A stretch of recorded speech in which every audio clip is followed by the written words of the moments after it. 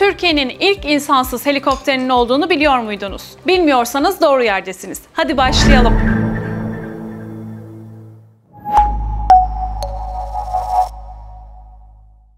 Son dönemlerde ülkeler arasında yaşanan sıcak çatışmalar yatırımları savunma sanayisine yönlendirdi. Amerika, Rusya gibi savunma sanayisine büyük yatırım yapan ülkelerden biri de Türkiye. Türkiye askeri donanma yönünden olsun, havacılık savunması yönünden olsun yabancı devletlerin gündemine girmeyi başardı ve Türk savunma sanayisi her geçen gün yeni bir ürünle dünyada adından söz ettirmeye devam ediyor. Türkiye'nin ilk insansız helikopteri olan Alpin, Ankaralı bir firma tarafından üretildi ve 6500 metre kadar yükseğe çıkarak 9 saat havada kalabiliyor. 2021 yılında Titra Teknoloji, Türkiye'nin ilk insansız helikopterini İDEF Savunma Fuarı'nda tanıtmıştı. Türk Silahlı Kuvvetleri'ne büyük avantajlar sunan ilk insansız helikopter Alpin kısa sürede büyük bir ilgi yakaladı. Öyle ki 2022 Expo ve Endonezya'da Indo Defense Fuarı'nda da sergilendi. Orman Genel Müdürlüğü tarafından 2021 yılında kiralanan Alpin yangın takip ve koordinasyonunda da kullanıldı. Fakat yaşanan talihsiz bir olaydan sonra askeri yönde güçlendirilerek